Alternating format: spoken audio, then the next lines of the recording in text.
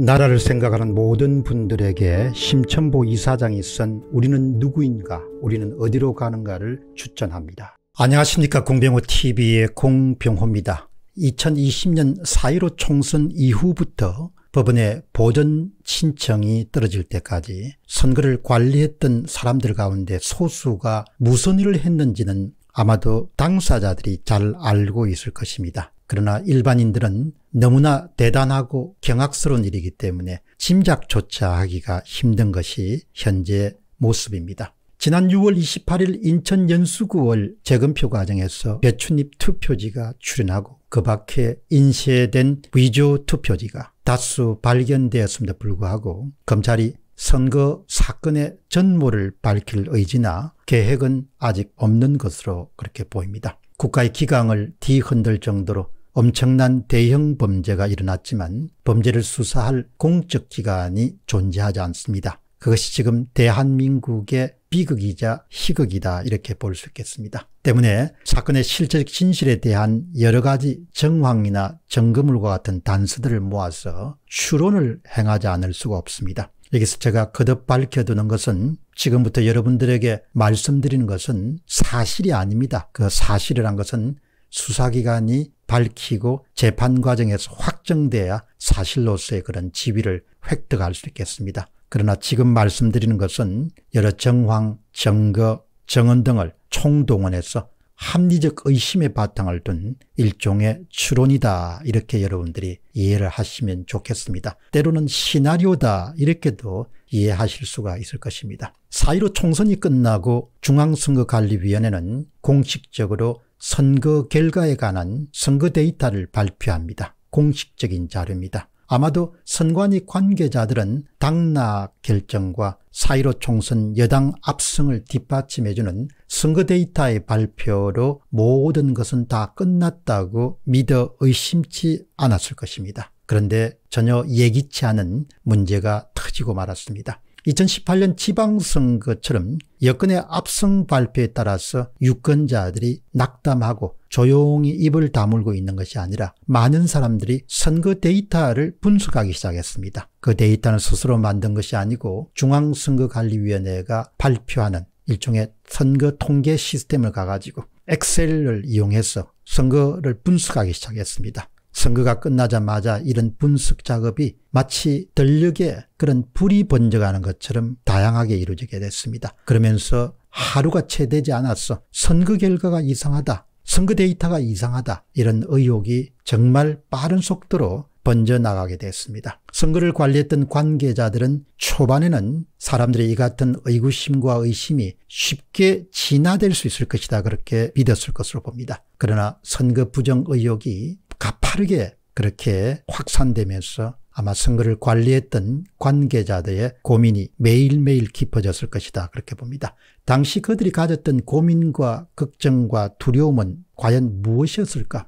그들의 고민과 걱정과 두려움은 1년 전인 2020년 4월 15일에 일만이 아니고 아마 재검표 이후에도 그 같은 고민이 계속되고 있다 이렇게 저는 봅니다. 6월 28일 재검표가 끝난 지금도 그 같은 그런 아마 심적인 그런 불안감을 갖고 있을 것이다 그렇게 저는 봅니다. 4.15 총선이 마무리되었을 때 선거를 관리하는 여러분들 가운데서 일부 관계자들이 잘 알고 있었던 아주 특별하고 아주 기이하고 아주 회개망측한 그런 사실이 몇 가지가 있습니다. 저는 그것을 세 가지로 정리했습니다. 화면에 가득 채워서 여러분들이 소개해야 될 만큼 중요한 아주 기이하고 아주 회개망측한 그런 사실입니다. 첫 번째는 선거관리위원회가 발표한 선거 데이터 공식적인 선거 통계 수치와 투표가 끝난 다음에 봉인 상태에 들어있는 실물 투표지의 숫자가 일치하지 않는다는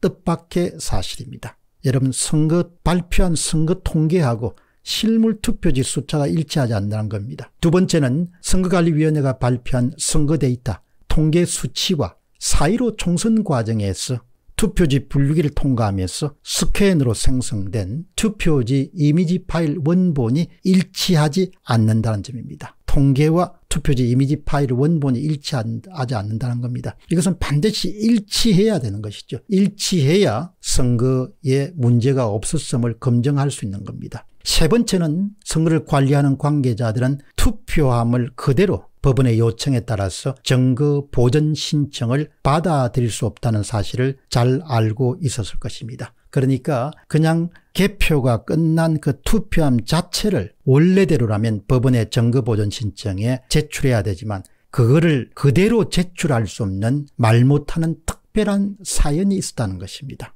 여기서 이제 우리가 좀 더 해설을 더하면은 만약 4.15 총선의 선거 무결성에 문제가 전혀 없었다. 공정한 선거 또 정직한 선거가 치러졌다면 선관위 발표의 통계 수치와 실물 투표 수와 그 다음에 4.15 총선에 생성된 투표지 이미지 파일 원본이 세 가지가 다 일치했을 것입니다. 그러나 만약 선거가 공정하게 실시되지 않은 선거 무결성에 상당히 문제가 많은 4.15 총선이었다면 선관위 발표의 공식적인 선거 통계, 통계 수치와 투표함에 들어있는 실물 투표 수와 그리고 4월 15일에 생성된 투표지 파일의 원본이 서로서로 다를 것입니다. 이게 아주 중요한 점입니다. 그렇기 때문에 뭔가 수정자금이나 투표함에 대해서 보정자금이나 교정자금이나 손을 대지 않고 그대로 법원의 정거보전 신청에 따라 투표함을 법원에 제공하게 되면 재검표 과정에서 엄청난 그런 일이 발생할 수 있습니다. 그 엄청난 일이란 것은 다시 한 번 더 말씀드리면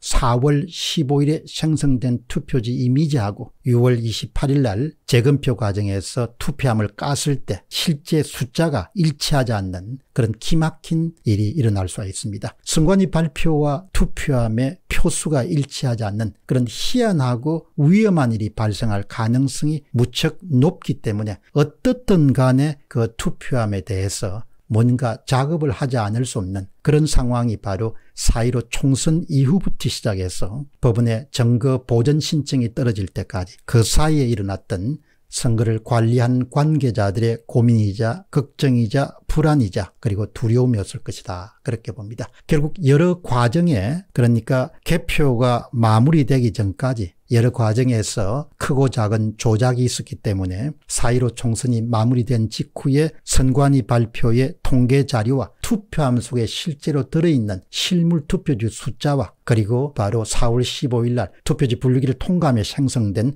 스캔된 투표지 이미지 파일에 이 일치하지 않게 된 겁니다. 어떤 조작이 있었는가는 앞으로 별도로 정리해서 별도의 방송 주제로 다루도록 하겠습니다. 바로 이 점에 대해서 선거 문제를 오랫동안 지켜봐 온 김미영 원장도 저의 문제인식과 같이 하고 있습니다. 김 원장의 주장입니다. 문제는 중앙선거관리위원회의 통계 수치 발표 이후에 부정선거 의혹이 불거져 나왔고 미리 준비해서 맞추어뒀던 표수와 통계 수치가 정확하게 일치하지는 않았을 것이다. 선거가 끝난 후부터 법원 보전 신청까지의 시간 동안 통계 수치와 실제 투표함의 표수를 정확히 맞추는 작업을 진행했을 것이다. 이때는 많은 표가 필요하진 않지만 정밀하게 맞춰야 하기 때문에 가장 어려운 단계의 증거인멸에 해당한다. 이것이 핵심이고 그래서 뒤처리 작업에서 증거가 드러났다고 보고 있을 것이다. 선거 이후부터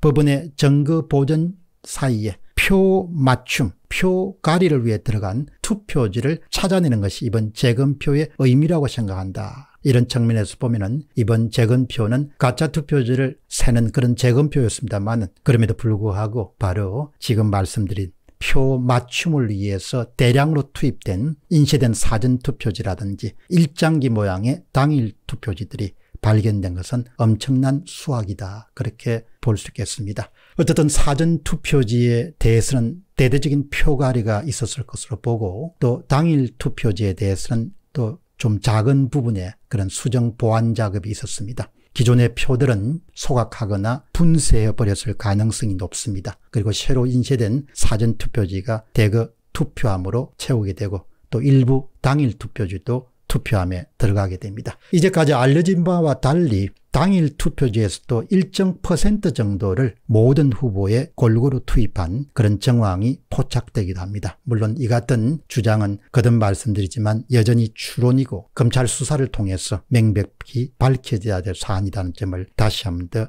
강조해 두도록 하겠습니다. 이제 당일 투표지가 투입되는 과정에서 투표 관리관 도장이 심하게 찌눌려서 마치 일장기 모양의 희한한 기표 도장 모양이 등장하게 되었습니다. 결과적으로 관계자들이 재판부에 제출할 투표지 이미지 파일 4본이라는 것은 바로 새롭게 투표함에 투입된 사전 당일 투표지를 새로 스캔해서 생성된 그야말로 위변조본일 가능성이 매우 높다. 그 점을 분명하게 지적하고 싶습니다. 그렇다면 필사적으로 삭제해버려야 되거나 또 갖고 있지 않다고 오리발을 내거나 아니면 또 모처에 은닉해야 될 것이 바로 4.15 총선 당시에 투표지 분류기를 통과하면서 스캔된 투표지 이미지 파일 원본입니다. 그것이 세상의 그 모습을 드러낸 순간 불법의 전모가 밝혀질 것으로 봅니다. 결국 6월 28일 재건표 대상이 되었던 투표함의 실물 투표지 그리고 사법부에 제출되었던 투표지 이미지 파일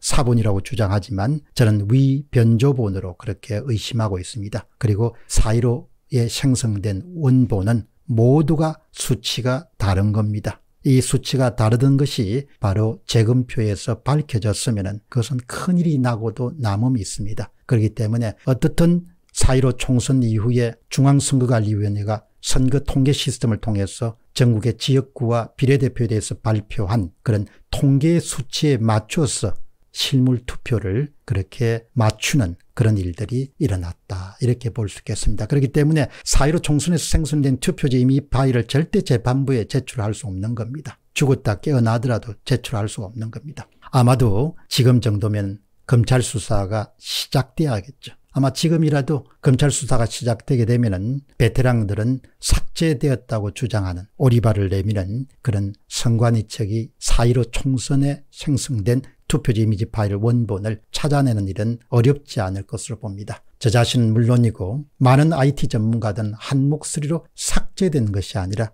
은닉되었을 것이다. 이렇게 딱 잘라서 이야기를 합니다. 공병호 TV의 공병호였습니다. 감사합니다.